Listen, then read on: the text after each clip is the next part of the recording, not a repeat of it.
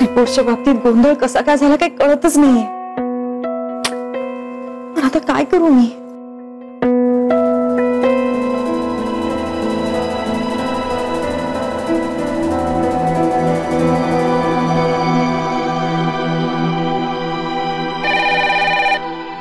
Hello.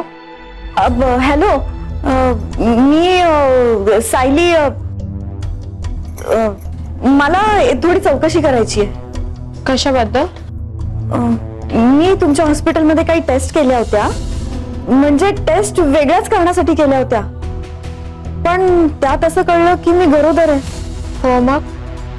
अहो पण तो रिपोर्ट असा कसा आला तेच काही कळत नाहीये. अब- आमचं लग्न झालेलं नाहीये. काय?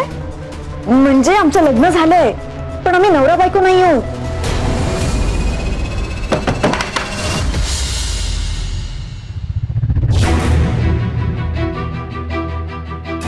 हे काय चाललंय तुमचं? तुम्ही आता कोणाशी बोलत होता?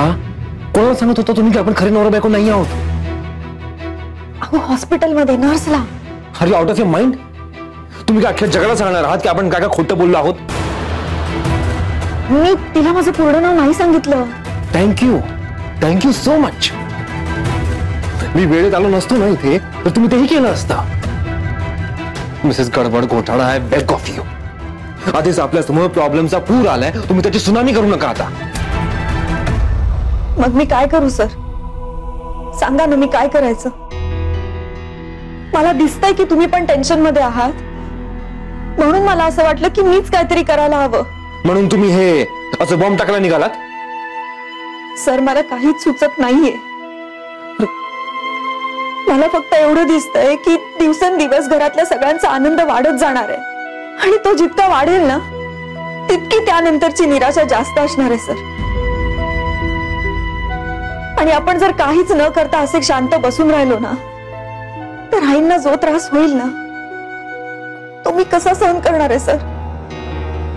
मिसेस सायली, मला कळतंय की मॉम किती अपसेट होईल.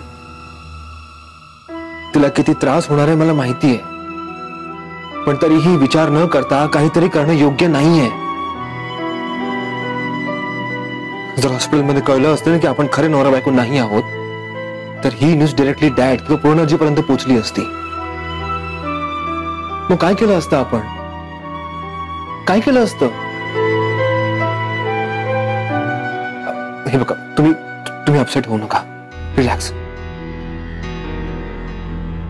काहीतरी मार्ग काढूया आपण?